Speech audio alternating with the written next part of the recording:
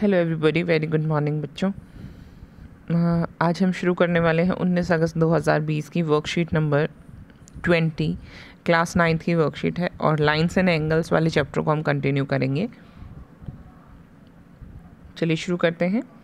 Let's start with the angles ये दो parallel lines ली हमने. कोई भी दो पैरेलल लाइंस आपको पता है पैरेलल लाइंस नेवर मीट जो समांतर रेखाएँ होती हैं, वो कभी नहीं मिलती. उस पर हमने एक इंटरसेप्ट किया हमने यहाँ पर उसको इंटरसेक्ट करती हुई एक लाइन डाली that is called intersecting line अब यहाँ पर बहुत सारे एंगल्स बन गए हैं, जैसा कि आपको नज़र आ रहा है. Angle one is equal to angle two can you see this angle one is equal to angle two होता है. कारण बताती हूँ मैं. हिंदी में इसको कहते हैं संगत कोण. इंग्लिश में इसको कहते हैं कॉरस्पॉन्डिंग एंगल्स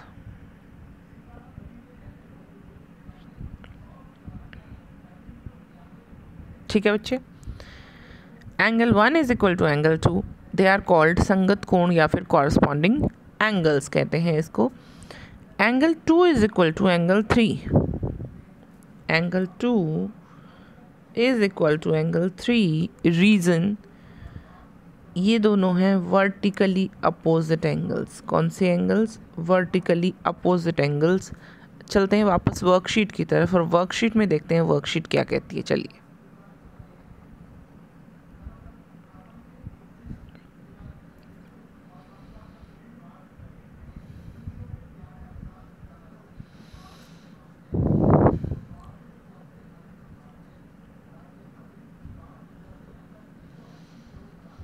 वर्कशीट नंबर 20 है 19 अगस्त। लाइंस एंड एंगल्स में हम लोग आज पढ़ने वाले हैं दो लाइनें ए बी और सी डी जो आपस में एक दूसरे को काट रही हैं।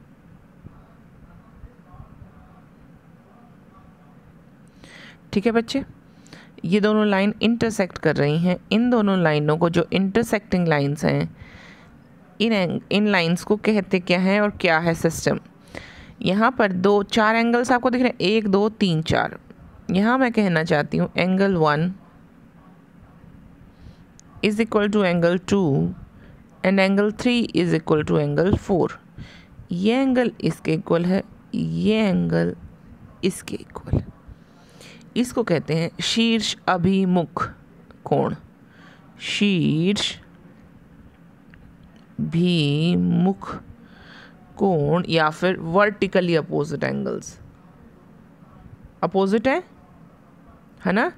तो इसलिए इसको कहते हैं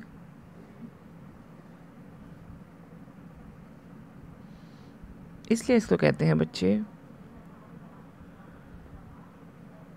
वर्टिकली अपोजिट एंगल्स क्लियर है बच्चों? वर्टिकली अपोजिट एंगल्स या शीर्षाभिमुख कोण कहते हैं, ठीक है? चलते हैं आगे।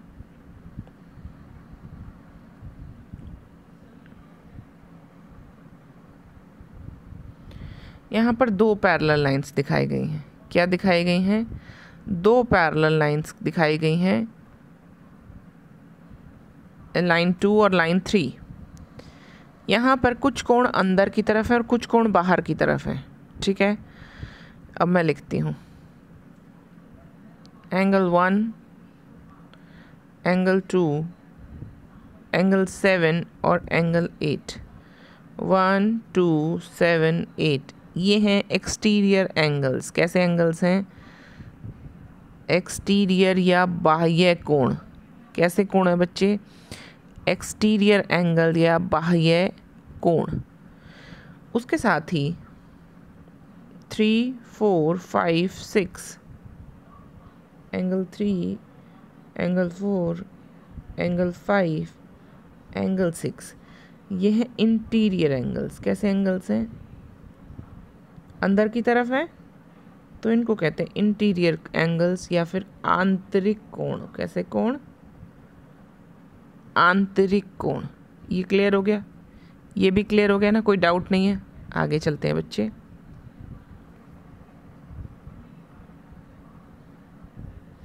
ये दोनों पैरेलल लाइंस नहीं थी, अभी तक पैरेलल लाइंस की बात नहीं हो रही है।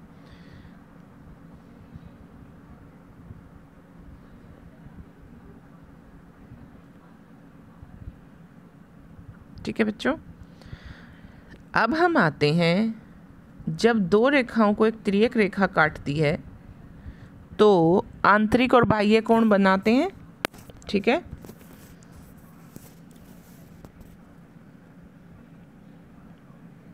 यहाँ पर कुछ और। हाँ अब आते हैं कॉरस्पॉन्डिंग एंगल से संगत कोण पर।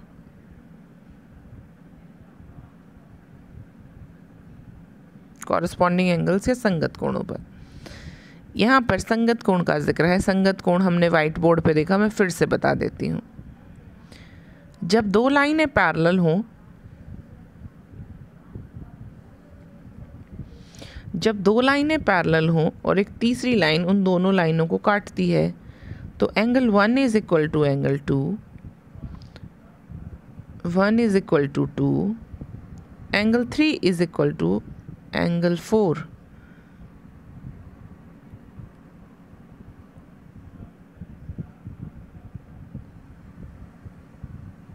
angle 5 is equal to angle 6 angle 7 is equal to angle 8 ये सारे एंगल्स आपस में बराबर हैं मैं फिर से समझा दूँ कैसे बना है एक एक करके समझिए बच्चे। ये एंगल ऐसे बना है इस पैरेलल लाइन पे। यहाँ पर इसने इंटरसेक्ट किया था, है ना? यहाँ पर ही, अगली लाइन पर, क्योंकि पैरेलल लाइन है। ये एंगल दोनों बराबर हैं। ऐसे ही इस लाइन ने यहाँ भी एक एंगल बनाया। तो यहाँ भी बनाया, ये एंगल इसके इक्वल है। फिर यहाँ पर एक एंगल बना। यहाँ पर एक एंगल बना। ये एंगल इसके इक्वल फिर यहाँ पर एक एंगल बना और यहाँ पर ये दोनों एंगल आपस में इक्वल हैं. जो भी कोण मैं आपको बता रही हूँ, इनको कहते हैं संगत कोण या कॉरस्पॉन्डिंग एंगल्स संगत कोण या कॉरस्पॉन्डिंग एंगल्स ठीक है बच्चे? वापस चलते हैं.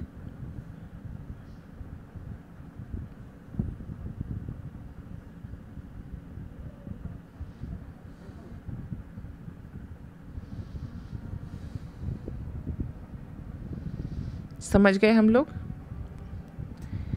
यहाँ पर कुछ सवाल पूछे गए हैं। सवाल कहता है, एंगल तीन का संगत कोण क्या होगा? एंगल तीन का संगत कोण होगा, एंगल सात। एंगल दो का संगत कोण, दो का कौन सा होगा बच्चे? छ एंगल चार का संगत कोण होगा? एंगल आठ। चलिए। एकांतर कोण कौन से होते हैं? जब दो रेखाओं को एक त्रियक रेखा काटती है, तब दो कोण, जो कि आंतरिक और बाह्य कोण हो और त्रियक रेखा के विपरीत दिशा में हो, एकांतर कोण कहलाते हैं। यहाँ पर चित्र नहीं बनाया गया, मैं बना के दिखा देती हूँ।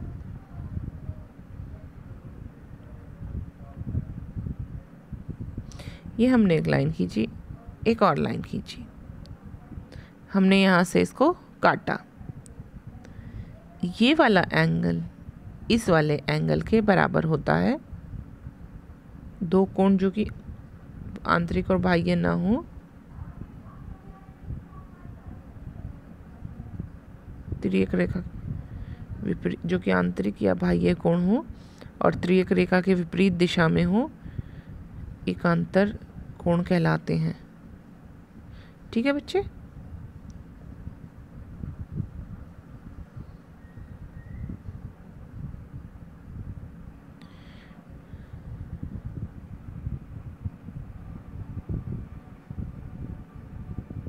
यहाँ पर शायद ये दिखाने की कोशिश की गई है, एक सेकेंड रुकिए बच्चे।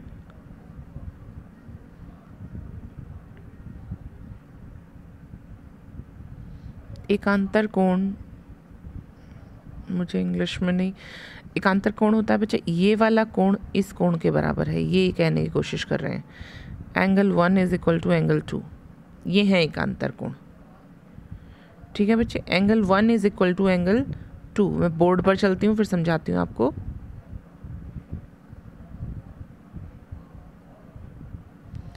ये दोनों लाइनें ली हमने, इनको ऐसे काटा। यहाँ पर ये जो कोण है, ये इस कोण के बराबर है। ये अपोजिट, इंटीरियर अपोजिट एंगल्स हैं। एकांतर कोण बोला गया है इनको। ठीक है बच्चे? ये वाला कोण इस कोण के बराबर होता है। इन सब के पीछे लॉजिक है, वो लॉजिक मैं आपको समझा देती हूँ, देखिए। दो लाइनें जब हमने ली, ये एंगल बनाया बेटा। ये भी पैर दोनों पैरल लाइनें हैं तो जो ये एंगल यहाँ बना रही है, ये लाइन वही एंगल यहाँ बना रही है। इसको कहते हैं संगत कोण या कॉरस्पॉन्डिंग एंगल ये क्लियर हो गया? ये क्लियर है? उसके बाद देखिए। यहाँ जो एंगल बना, वही एंगल यहाँ बना होगा। क्योंकि ये 180 मान लो ये x बना तो ये बना 180 एट्टी माइनस एक्स ये x है तो ये भी 180 एट्टी माइनस एक्स तो ये एंगल भी बराबर हो गया, ठीक है? ऐसे ही ये वाला एंगल भी बराबर हो गया और ये वाला एंगल भी बराबर हो गया। सबको लीनियर पेयर से सॉल्व कर सकते हैं। देखिए, जो एंगल यहाँ बना और यहाँ बना, सेम। अगर सेम है तो ये भी, क्योंकि एक लाइन पर ये भी है और ये भी है तो ये भी सेम, ठीक है? ये भी सेम ये भी सेम ये सारे सेम हो गए।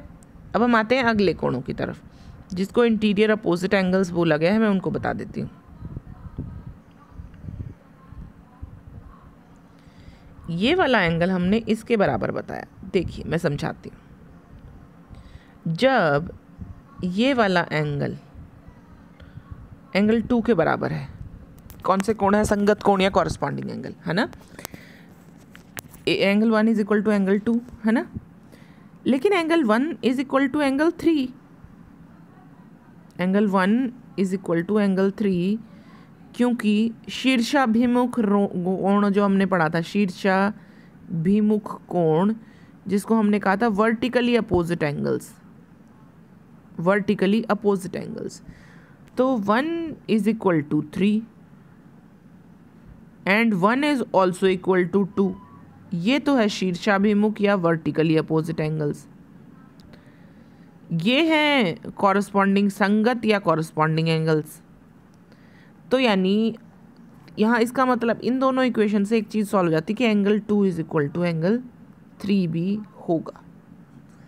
ये इसके भी बराबर है, ये इसके बराबर तो ये दोनों भी आपस में बराबर होंगे। चलिए। अब यहाँ पर जो अंदर वाले कोण थे, वहीं बाहर बाहर वाले कोण भी बराबर होंगे। जैसे कि ये ये एंगल ये लाइन बनाई, ये एंगल तो हमने इसके इक्वल बता दिया। तो ये वाला एंगल भी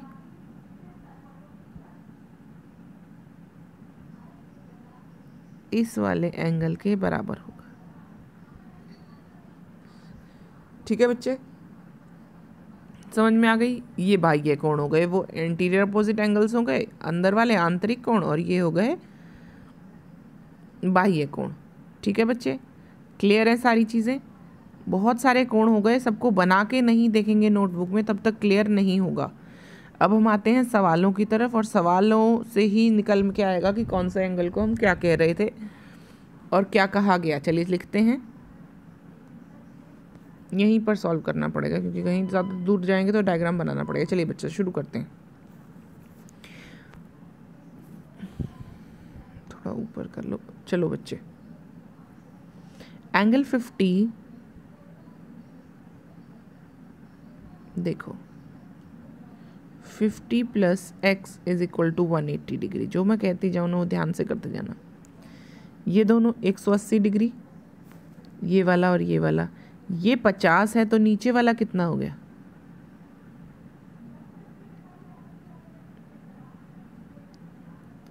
एक सौ तीस डिग्री। क्लियर हो गया? तो यहाँ पर मैं क्या लिख दूँ? एक सौ तीस डिग्री।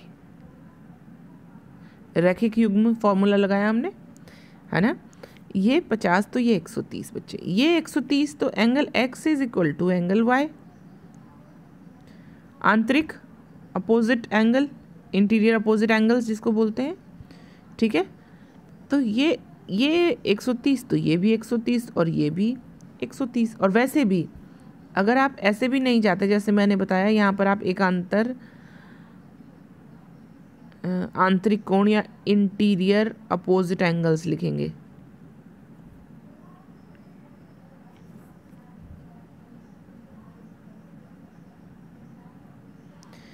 ऐसे भी नहीं जाते तो देखो नीचे से भी सॉल्व करते बहुत सारे तरीके हो सकते हैं। तो ये 130 तो ये भी 130 अपोजिट शीर्षाभिमुख कोण वर्टिकली अपोजिट एंगल्स ठीक है? ये 130 तो ये 130 तो ये भी, और ये तो 130 था ही। ये इस, यहाँ पर रेखे युग्म बन रहा है, एक लाइन पर ये 50 है तो ये कितना बनेगा 130 ठीक है बच्चे, बिल्कुल क्लियर है? कैसे भी कर लो जैसे आपका मन करे। अगले क्वेश्चन पर आते हैं।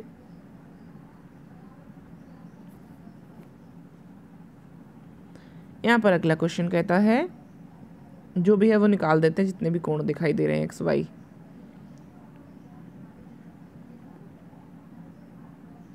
दोनों पैरेलल लाइन है। बच्चा देखो, ध्यान से देखना, बिल्कुल, कोई दिक्कत वाली बात नहीं। अगर आपको त्रिभुज याद हो तो यहाँ पर एक कोण बना है, ये एक सौ सत्ताईस इज़ इक्वल टू एक्स जमा वाई याद है, बाह्य कोण त्रिभुज का बाह्य कोण होता था, एक एक्सटीरियर एंगल थ्योरम होती थी।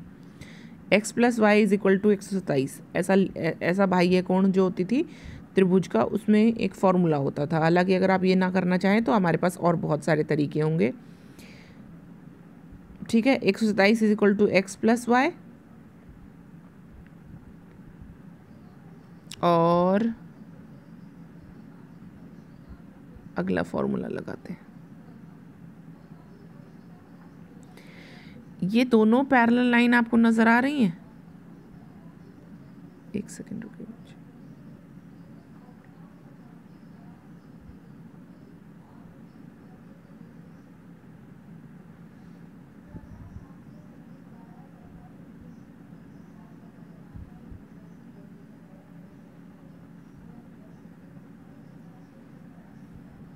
चलो बच्चों, अब करते हैं। बेटा, ये दोनों पैरेलल लाइंस आपको नज़र आ रही एक पैरेलल लाइन ये रही, एक पैरेलल लाइन ये रही। इसको यहाँ से काटा गया।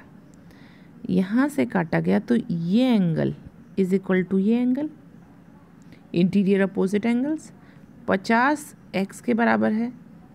ये क्लियर हो गया। ठीक है? ये वाला एंगल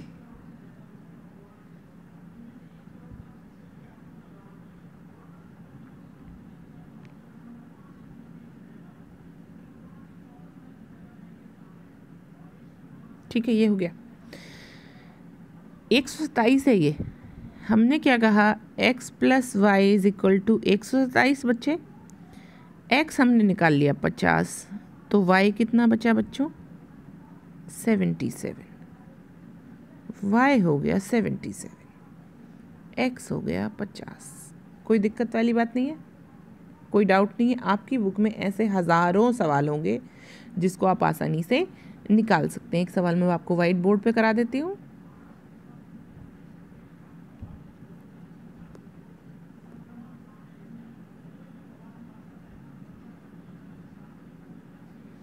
ये तीस डिग्री है।